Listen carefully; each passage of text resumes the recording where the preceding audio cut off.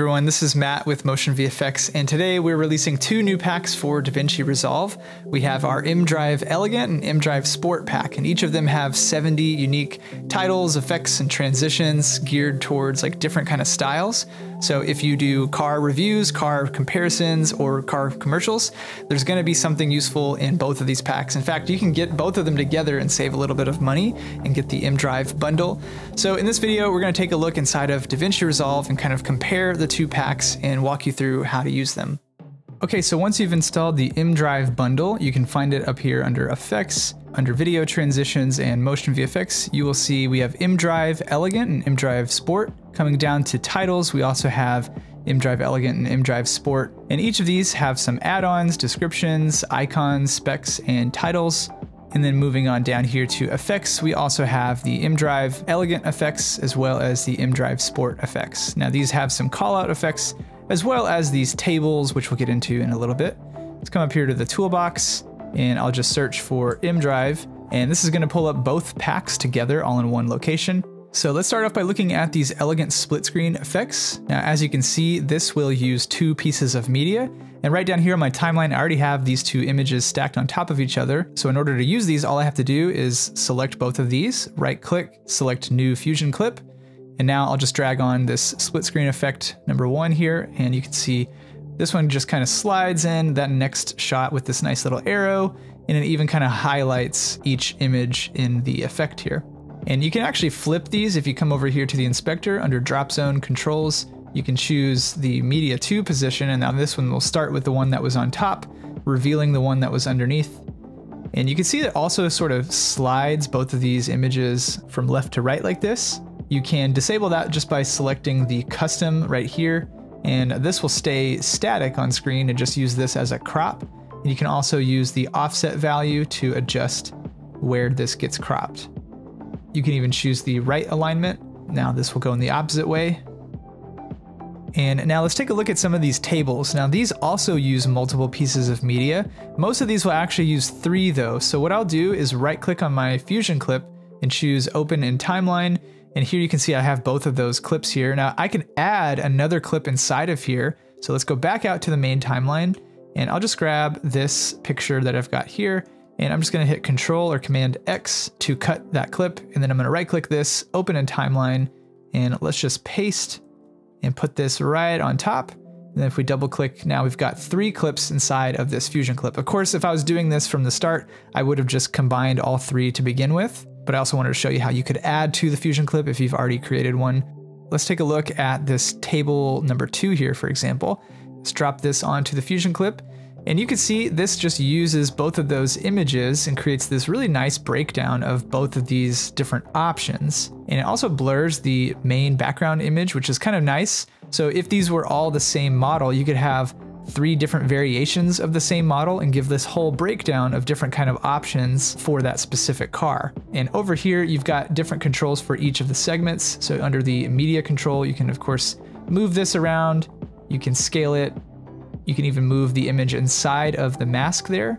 You just double click to reset those parameters. And you also have complete control over the text and the description. This is where you can fill out and label different specs that you want to highlight. And under the bottom text, this is where the actual parameters would be. And we have the exact same controls over here for the right segment as well.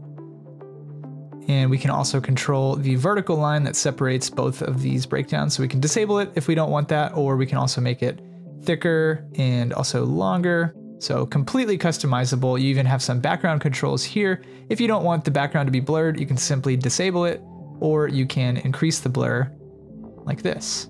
Now, if I delete this, we can compare this to the sport tables. These are very similar, just with a different style. So sport table number four, for example, you can see it starts with this main clip, brings in our second clip with this nice split screen with all of our graphics over here on the left. Then everything fades up and then brings in that third image. So you have six table layouts available for the Elegant pack, and then you have five available for the Sport pack. Now let's take a look at a few of these callouts. Now these are a great way to kind of highlight a specific spec on the screen. The sport callout number three, for example, actually has a drop zone area right here. So you can go over here to the drop zone controls and browse for an image. and you can adjust the position very easily. If you want this over here on the other side, like this, maybe we'll scale the image inside of the drop zone a little bit like that, recenter it. So once I have this where I want it, I can also go down here to the element controls and I've got this line rotation. I can just swing this around. Maybe we'll just type in 180 and scale it up a little bit like that. So you can see we can really customize the layout in order to fit with our footage a lot better. And it has a really nice animation in the beginning and the end of the clip, which of course you can disable using the in and out controls up here in the inspector.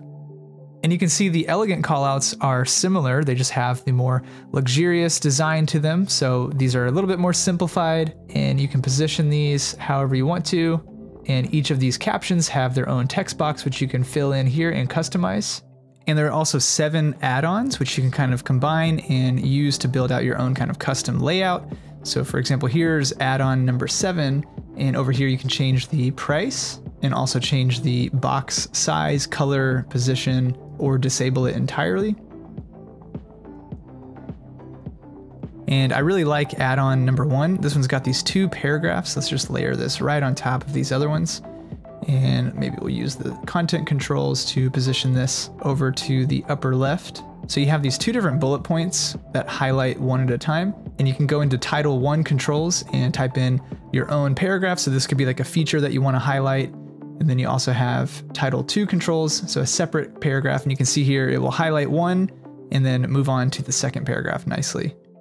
Now, similar to this first add-on preset, we also have these four descriptions for the Elegant pack. Now, these range from very simple titles like this one, which I really like a lot with this nice animated underline, as well as a little bit more in depth if we want to have more to say about a vehicle. Description number three is a great way to do that. And we also have four descriptions for the Sport Edition. And these are a little bit faster pace. You can see this one has this nice animation that animates between two different subtitles. So we've got subtitle 2, subtitle 1, and the main title right here. Again, a lot of these are just going to be a little bit quicker pace, more geared towards like kind of a sport style video. Okay, so let's take a look at a couple of these sport specs. Now this is a nice collection of little titles that highlight a specific specification of your vehicle. And all of these have a really nice and unique animation. You can see number nine here kind of highlights these four points at the bottom. And if you stretch out the duration longer, then it will kind of animate through those a little bit slower to compensate for that longer duration. And under the description controls, you can modify the text and each of these have their own secondary color right here. So you could technically have different colors for each of these words here.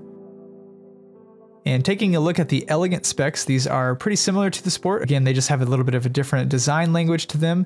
This one, for example, has a list of different variables that you can highlight their strengths and weaknesses. And each of them have their own segment controls where you can adjust the value right here. It goes from zero to one. And if you come into the chart line controls, you can actually change the color of the lines altogether with one control here. So you really do have a lot of customization for different kinds of layouts. If you want to combine this with other graphics on screen, all right, let's take a look at the sport titles. There are nine of them, and all of them, kind of like the rest of the pack, offer a really nice blend of speed, flair, and this really nice sporty style. So here's number seven, for example. It kind of has this nice chromatic aberration, distortion type of effect. Number eight is pretty cool. It has this like racing stripe that goes down the center of the top there. So there's a lot of creative ways you can use these titles. Now, why don't we go ahead and experiment with a couple of these transitions? So before I do this, I wanna actually combine these two shots together with a transition. Now, rather than just applying the transition directly to this shot, I wanna integrate the titles in with the transitions as well. So what I would do is select this clip here and I'm just gonna temporarily move this up to the top track here. And I'm just going to extend the duration out. I think about a second is probably good enough. And then I'll select this, right click and choose new compound clip. And then I'll reduce the duration back down to its original length and put it back in the original position. And I'll do the same thing with this next shot here, except this time I'm just gonna use the footage to extend this way for one second. I'm gonna leave the title right where it's at, and I'm gonna select these two, right click, choose new compound clip, bring it back to the original duration and put this back down. The reason I did this is because now I've got additional frame handles on both sides of this cut, which will allow me to use a transition like this. So now you can see the titles and everything is all integrated inside of that transition. And this is a really nice transition too, by the way. It has these really cool red slanted bars. It almost looks like they are racing together. Kind of cool. You can also flip the direction. And there are five total transitions that come with both packs. So if you get the bundle, you have 10 different transitions and they're all unique and a great way to up the pacing and production quality of your edits. So that's the mDrive bundle. Again, you can pick them up individually if you just want one or the other, or if you want both, you can get them as a bundle and save some money. There's more information in the link in the description. Thank you so much for watching this video, and I'll see you in the next one.